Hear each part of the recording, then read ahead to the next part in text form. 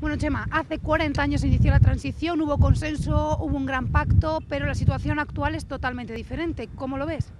Bueno, primero, mm, a veces pienso que era más fácil alcanzar el consenso entonces porque de lo que se trataba era de, recuperar las libertades, ¿no? Y al grito de democracia, libertad y adiós dictadura, pues se generaron esos, esos consensos que dieron el fruto la Constitución del 78 que ha prestado unos enormes, enormes servicios. Es verdad que se hicieron cosas que parecían imposibles, ¿no? Legalizar al Partido Comunista, por ejemplo, pero claro, sabíamos que sin pluralidad, sin eh, multipartidismo no existía, no existía democracia. Entonces, insisto, ¿no? al grito de libertad y democracia se generaron los consensos.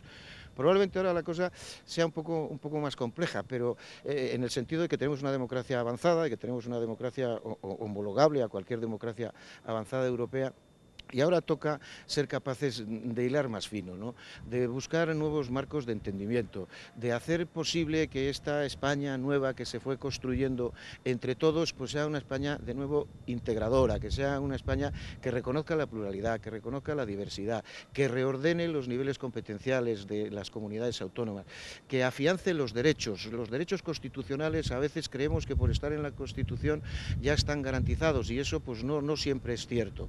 A nosotros a mí me, parece que eh, la capacidad de alcanzar acuerdos ahora debe estar pensando en la calidad de vida de las personas, en el respeto a los derechos individuales de las personas. Desde luego que en una mejor integración territorial del conjunto del Estado y en la redefinición del papel del Estado central como elemento corrector de las desigualdades. Si en el año 78 fuimos capaces en aquellas circunstancias y ahora con todas las oportunidades, insisto, con esa democracia asentada, las formaciones políticas no fueran de entenderse para mejorar la convivencia en nuestro país, estuviera, estaríamos asistiendo a un fracaso que realmente yo no creo que se vaya a producir.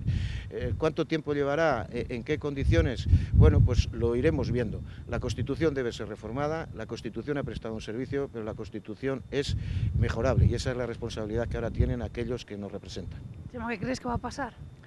Hablamos de política Actualmente, ¿se repetirán las elecciones? ¿Cuál es su pronóstico? ¿Qué, ¿Qué, crees? Sí, yo creo que hay un escenario en el cual no hay que descartar la posible convocatoria de nuevas elecciones que yo diría que no suponen eh, ningún drama. Son las propias formaciones políticas las que han empezado a decir que esto sería la constatación de un fracaso. Bueno, allá ellos sí piensan que es la constatación de un fracaso. En cualquier caso, los ciudadanos eligieron el 20 de diciembre una nueva forma de hacer política, decidieron repartir el poder, decidieron que las mayorías absolutas ya no interesaban, quizá muy escamados de la forma en la que el Partido Popular había ejercido esa mayoría absoluta, y es verdad que les dieron el mandato de eh, entenderse entre más, entre más formaciones políticas. Se asistió a una cosa inédita, que es que quien había ganado las elecciones rehusara concurrir a, la convocatoria del rey para hacer el debate de investidura. Tomó el relevo el Partido Socialista, que había obtenido un mal resultado, pero asumió esa responsabilidad. Todo apunta a que eh, la semana que viene el Partido Socialista no consiga los votos suficientes para ser investido. Quedará para los ciudadanos que se intentó, que se hizo el esfuerzo de consenso para, eh, renunciando a posiciones todos, eh, tratar de alcanzar, de alcanzar ese acuerdo. Si eso no se consigue, con toda probabilidad habrá que apelar de nuevo a los ciudadanos, que si vuelven a lanzar el mismo mensaje de pluralidad y de diversidad obligará a quienes salgan elegidos a que ese acuerdo lo alcancen en 15 días. No sería, eso sí que iría ya en detrimento de la credibilidad política si repetidas las elecciones y los ciudadanos mandando el mismo mensaje en 15 días no fueran capaces de decir, chicos, los ciudadanos nos han dicho que el poder hay que repartirlo y estamos obligados a repartirlo, a negociarlo y a resolverlo en cuestión muy breve de tiempo. Bueno, Jesús, oportunidad de lujo que todos estos periodistas eh, de ámbito nacional conozcan también la zona brañosera, primer ayuntamiento de España. Sí, efectivamente, nos habíamos impuesto como objetivo este año una serie de mesas de coloquios en las que pretendemos reunir pues, a aquellos personajes, no solamente de la vida política, sino también de la social, de la cultural y de los medios de comunicación que vivieron en primera persona aquellos inicios de la transición. Y desde luego, pues la primera jornada en la que hemos reunido a este elenco de, de personajes, yo me atrevería a a, decir, pues eh, estamos plenamente satisfechos porque además van a convivir con nosotros, van a vivir lo que es la montaña palentina y como ves en su salsa, con una nevadita interesante y con un día pues estupendo. Porque aquí hay muchos atractivos que van a ver, contanos un poco. Sí, efectivamente, ahora vamos a tener una jornada de trabajo y después lo que van a hacer es conocer nuestra hostelería, nuestra gastronomía de la que presumimos precisamente, van a desde luego a disfrutar de nuestro paisaje, van a conocer también algunos de los lugares interesantes de nuestra comarca, como es el Museo de la Minería, la mina visitable, el Parque de los Bisontes y el Museo del Románico y además van a convivir esta tarde con nosotros viviendo una de nuestras tradiciones ancestrales más interesantes del norte de Palencia y del sur de Cantabria como son las marzas. Y que se sepa que aquí está el primer ayuntamiento de España. Por supuesto, por supuesto. Eso es, eh, digamos, va ligado precisamente a toda, a toda esta iniciativa. Bueno, hace 40 años se inició eh, la transición, hubo consenso, hubo diálogo, un gran pacto, eh, generó confianza. ¿Cómo era ese escenario? Pues solo con verse el pacto de la Moncloa, aunque no se hizo en el Congreso, se hace una idea de la disposición a ceder que tenían todos los grupos para resolver la crisis económica que vivía España entonces también, no tan grave como la de ahora, pero bastante grave y con mucho paro. ¿no? Entonces el, espíritu era increíble, porque además eh, los periodistas éramos cómplices de los políticos, políticos de los periodistas, de la gente, del pueblo, porque se estaba pasando de una dictadura a una democracia. La simpatía era colectiva y las ganas de cambiar una democracia pues se notaban en las cortes, ¿no? o sea, en todo, o sea, en el trato, el respeto, aunque luego en breve enseguida se empezaron a dar caña el PSOE y, UCD, ¿no? con Adolfo Suárez del hombre. ¿Cuáles son las principales diferencias de este escenario a la situación política actual? muchas. Primero que hay cuatro grandes partidos, eso cambió, porque entonces se construyó todo en función del bipartidismo, o sea, la alternancia, y además Alemania y los grandes países de la Unión Europea colaboraba en que hubiera un bipartidismo que diera estabilidad.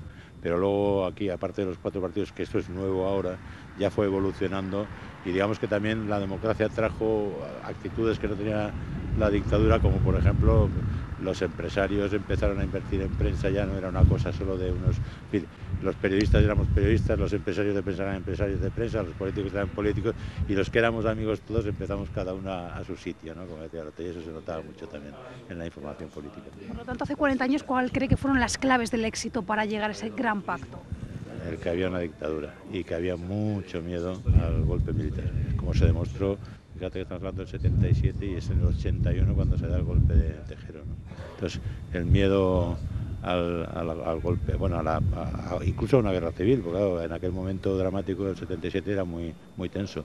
Y ese miedo hizo que nos entendiéramos todos y pasáramos todos por encima de, los problemas, digamos, más de, intendencia de inmediatos, porque se estaba haciendo la transición. Pero el miedo fue decisivo, que es por lo que ahora hay mucha gente que dice que hay que reformar, incluidos el centro, o sea, yo que ciudadanos y gente del PP y todo, y PSOE, que hay que reformar la Constitución porque se hizo en un momento en que, digamos, estaba muy condicionada por la transición política.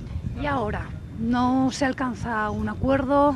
No se alcanza un acuerdo porque ahora ya estamos más en los parámetros de una democracia normal, en la que no hay miedo, en la que no hay eh, preocupación, hay preocupación económica y, entonces, claro, son batallas por ver cómo se reparte la riqueza que hay en España. Entonces unos tienen la visión de izquierdas y otros tienen la visión de, de la derecha, que además son legítimas. La de la derecha dice que hay que tener muchos ricos para ponerles impuestos y la izquierda dice que los ricos tienen que ser menos ricos y repartir los impuestos más, ¿no? Pero eso marca mucho esto y luego la acritud, hay un poco más de acritud que hubo entonces. mundo qué cree que va a pasar? ¿Se van a repetir las elecciones? Yo estoy convencido, vamos, yo después de hablar con además, yo estoy en el Congreso todo el día todavía, ¿no? Y, hablo con unos y con otros y, y, yo creo que están todos en una estrategia, pero absolutamente todos, PP, Ciudadanos, PSOE y Podemos, en una estrategia de propaganda electoral. Todo lo que vemos es propaganda electoral ya marcando pautas para las elecciones del 26 de junio. Estamos, yo estoy convencidísimo.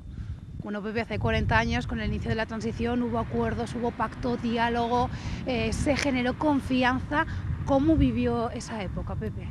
Bueno, yo creo que para muchos periodistas y para muchos políticos fue un poco la aventura de nuestra vida, ¿no? El ser testigo de lo que suponía salir de una dictadura y pasar de una dictadura a una monarquía parlamentaria después de una guerra civil muy cruenta y con una constitución que se había hecho entre todos. ¿no? Creo que fue un experimento, afortunadamente salió muy bien, hasta el punto que hay muchos países que pone la transición española como ejemplo a, a imitar. ¿no? Las transiciones no son exportables, pero evidentemente la transición española ha marcado un hito en lo que es la historia de la evolución de los pueblos. Ahora que en cierto modo se ha puesto tan de moda denostar a la transición, creo que es un poco partir de una ignorancia. ¿no? Es verdad que la transición se hizo con muchos problemas, con muchos condicionantes, un país además que salía de una, como digo, de una dictadura, con unas condiciones económicas muy precarias. En este, en este momento España es la cuarta potencia económica de, Europa. Estamos en una situación privilegiada desde el punto de vista de potencia económica eh, y probablemente eh, nos hemos acostumbrado a un sistema bipartidista que es el que ha entrado en crisis, no, por, no solamente por el propio sistema, sino por la corrupción de las propias instituciones. ¿no? Y estamos ensayando un nuevo, camino que yo confío, estoy esperanzado, que no solamente salga bien, sino que enriquezca eh, la política nacional y que haga de este país un país más justo, más libre y sobre todo más feliz, que es al fin y al cabo lo que pretenden los políticos y lo que desean todos los españoles. ¿Qué cree que va a pasar? ¿Se van a repetir las elecciones? Bueno, yo creo que nos hemos metido en un camino muy complicado, ¿no? donde el presidente del gobierno funcione ha declinado, a partir de ahí hemos entrado en un bucle, en un bucle muy difícil de, resolver porque se han creado unas tensiones y unas descalificaciones que son realmente más de tipo personal que de tipo político. Eh, es muy difícil que tal como están las cosas se pueda llegar a un, acuerdo eh, y sobre todo bueno porque se ha avanzado mucho en un acuerdo entre PSOE y Ciudadanos, un acuerdo que parece estable, con lo cual deja reducido al Partido Popular a una segunda posición, eh, ya que en un momento determinado eh, declinó algo insólito porque no está previsto en el artículo 99 de la, de la, de la Constitución. Eh, creo que habrá que ir a unas nuevas eh, elecciones, pero me temo que los resultados van a ser muy parecidos a los actuales. ¿no? Subirá un poco quizá Ciudadanos, subirá un poquitín el PSOE. Es decir, creo que los, los ciudadanos en estas nuevas elecciones pueden premiar a los partidos que han intentado entenderse y creo que pueden castigar a los que han puesto todo tipo de inconvenientes para llegar a un acuerdo.